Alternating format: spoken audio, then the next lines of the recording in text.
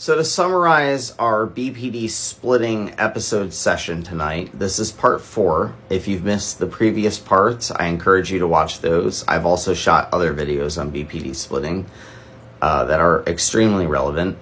To recap, I am in remission. I do not experience BPD episodes anymore.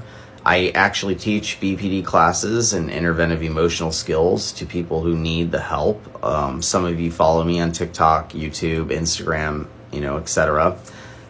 That said, regardless whether or not you're in my class, I would like you to pick up this skill.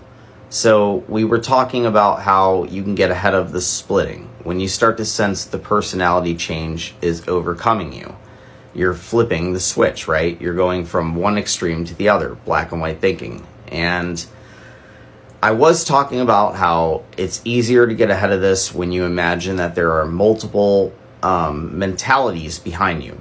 So you need to expand your brain and imagine that you have 10 other brains working for you. What would these brains say? What would these people suggest? You know, how would they suggest a better outcome, okay? But this goes deeper than that. And I kind of want to quote some economics here. The father of economics, Adam Smith, once said that what is best for an individual will benefit the group best. And that theory stood true for a long time until John Nash came along and suggested that there was, you know, a significant alteration to be made to this theory. And it is better when an individual considers both what is best for themselves and for the group. And that is best for everybody, the individual and the group. So that got me thinking a little more, you know, while I'm going through this minor BPD splitting trigger with my partner, I'm like, well, wait a minute. You know, I've been thinking a lot about myself here, selfishly, right? But what's best for me and for her? You know, what is the best outcome for both of us? Because we both want to come out on top here. We both want to feel like winners.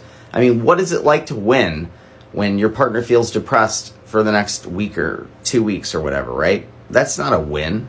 I mean, that's a loss. You want both of you to feel good about yourselves and good about the relationship.